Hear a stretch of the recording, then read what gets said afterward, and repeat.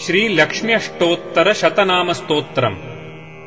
देव्युवाच। देवदेव महादेव त्रिकालज्ञमहेश्वर। करुणाकर देवेश भक्तानुग्रहकारक। अष्टोत्तरशतम् लक्ष्म्याः श्रोतुमिच्छामि तत्त्वतः।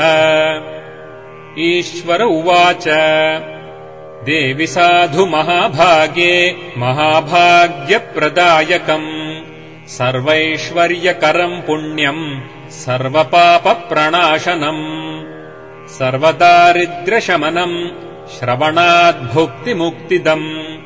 राजवश्यकरम् दिव्यम् गुह्याद्गुह्यतरम् परम्। दुर्लभम् सर्वदेवानाम् चतुष्षष्टिकलास्पदम् पद्मादीनाम् वरान्तानाम् निधीनाम् नित्यदायकम्। समस्तदेव्यसंसेव्यमणिमाद्यष्टसिद्धिदम्। किमत्र बहुनोक्तेन देवी प्रत्यक्षदायकम्। तव प्रीत्याद्य वक्ष्यामि समाहितमनाशृणु। अष्टोत्तरशतस्यास्य महालक्ष्मीस्तु देवता क्लीम् बीजपदमित्युक्तम् शक्तिस्तु भुवनेश्वरी। अङ्गन्यासः करन्यासः स इत्यादिप्रकीर्तितः ध्यानम्। वन्दे पद्मकराम् प्रसन्नवदनाम् सौभाग्यदाम् भाग्यदाम्। हस्ताभ्यामभयप्रदाम् मणिगणैर्नानाविधैर्भूषिताम् भक्ताभीष्टफलप्रदाम् हरिहरब्रह्मादिभिः सेविताम्। पार्श्वे पङ्कजशङ्कपद्मनिधिभिर्युक्ताम् सदा शक्तिभिः सरसिजनयने सरोजहस्ते धवलतराम् शुकगन्धमाल्यशोभे। भगवति हरिवल्लभे मनोज्ञे त्रिभुवनभूतिकरि प्रसीद मह्यम् प्रकृतिम् विकृतिम् विद्याम् सर्वभूतहितप्रदाम्। श्रद्धाम् विभूतिम् सुरभिम् नमामि परमात्मिकाम्।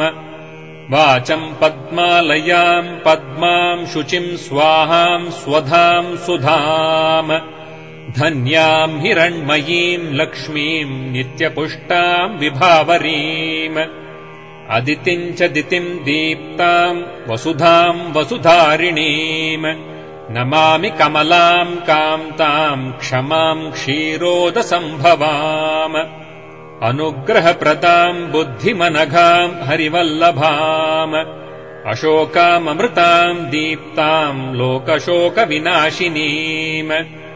नमामि धर्मनिलयाम् करुणाम् लोकमातरम् पद्मप्रियाम् पद्महस्ताम् पद्माक्षीम् पद्मसुन्दरीम् पद्मोद्भवाम् पद्ममुखीम् पद्मनाभप्रियाम् रमाम् पद्ममालाधराम् देवीम् पद्मिनीम् पद्मगन्धिनीम् पुण्यगन्धाम् सुप्रसन्नाम् प्रसादाभिमुखीम् प्रभाम् नमामि चन्द्रवदनाम् चन्द्राम् चन्द्रसहोदरीम् चतुर्भुजाम् चन्द्ररूपाम् इन्दिराम् इन्दुशीतलाम् आह्लादजननीम् पुष्टिम् शिवाम् शिवकरीम् सतीम् विमलाम् विश्वजननीम् तुष्टिम् दारिद्र्यनाशिनीम् प्रीतिपुष्करिणीम् शान्ताम् शुक्लमाल्याम् वराम् श्रियम्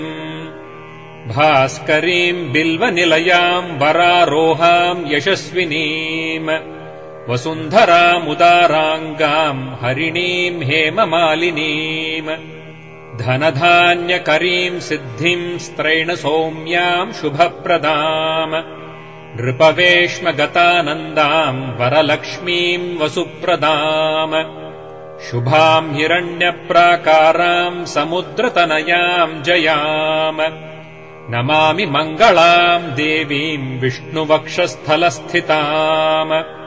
विष्णुपत्नीम् प्रसन्नाक्षीम् नारायणसमाश्रिताम्। दारिद्र्यध्वंसिनीम् देवीम् सर्वोपद्रववारिणीम्। नवदुर्गाम् महाकाळीम् ब्रह्मविष्णुशिवात्मिकाम्।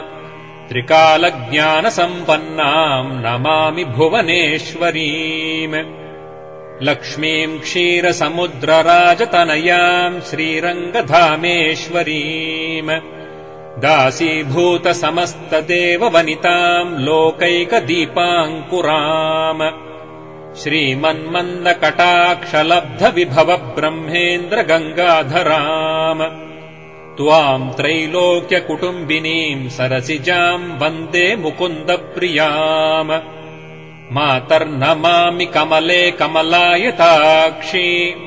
श्रीविष्णुहृत्कमलवासिनि विश्वमातः। क्षीरोदजे कमलकोमलगर्भगौरी। लक्ष्मीप्रसीद सततम् नमताम् शरण्ये।